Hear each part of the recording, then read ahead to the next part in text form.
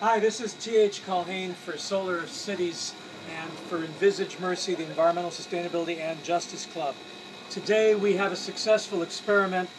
We are using a Bosch on-demand water heater to heat the water that is coming from this bucket to go through these PEX heating coils and into our digester to help us to make the biogas that we need.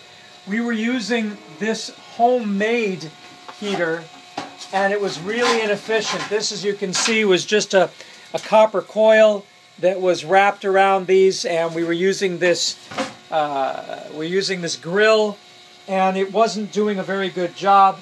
So I went to Mexico and I got a on-demand hot water heater that is very energy efficient. And if you look down, you can see it's heating the water with the flame there. Now this is a natural gas heater and I'm using a propane bottle. The reason that I got a natural gas heater was because ultimately we want to use the methane that is found in our biodigesters to help heat the tank.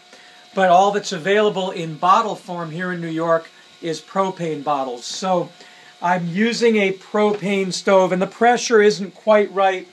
We could get it a lot hotter if we had the ability to uh, to adjust the flame but we don't have that uh, that ability with this so we're using it the best we can. Uh, it still is working better than it was. I can feel the heat as I touch this here. And we're hoping that we can get this from 20.9 degrees up to 30.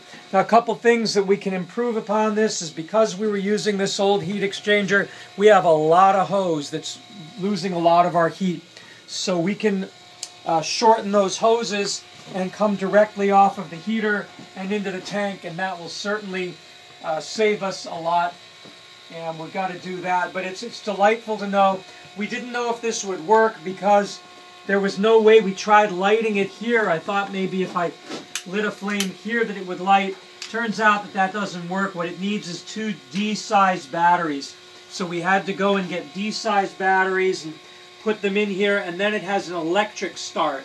And when you turn on the water and you have sufficient water pressure coming through here, then it opens the diaphragm and lets the gas flow and then it ignites it. So we had tried it without D-sized batteries and it wasn't working at all. There's a switch here on this side that turns it on and turns it off. Uh, I don't know if I turn it off, there it goes out. And then if I turn it on again, you hear the clicking and boom, it ignites. So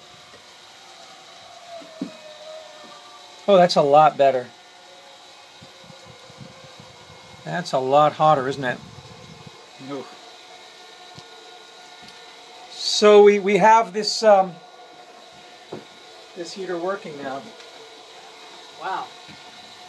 That's one bright flame. I guess that's because I turned it high.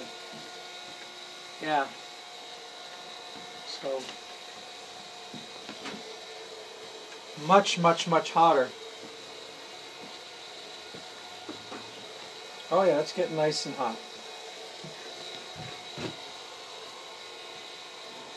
Mm-hmm. Oh yeah, you can feel it. You can definitely feel it getting hot now.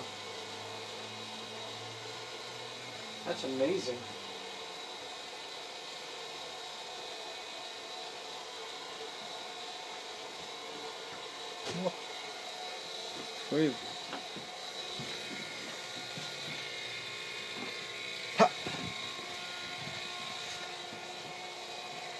okay So definitely we have a, a, success here. Much better to use the Bosch on-demand heater than to use some makeshift heat exchanger. It's nice. It's so hot I can't actually hold my hands on this anymore. Even this water that's dripping here is hot. You can see it steaming down there. So we've definitely got a got a really hot situation going. Oh, look at the steam coming out of here. Wow. Okay, that mm -hmm. should uh, should have an effect. It's even hot coming back in to here. Out.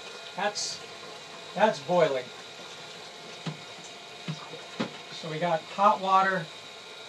Even in this whole bucket is is hot water. So we got a real hot loop going on here, and hopefully that hot water is going to, uh, with all that steam you see, is hopefully going to get this thing moved up to temperature. Okay, so we'll get back with you. Looks like we can regulate the flame with this, as you can see. I just made the flame lower, and then that makes it a lot higher. And you can hear it boiling. So I can turn it down just a little bit. Mm-hmm. And, uh, yeah. that's, that's pretty spectacular.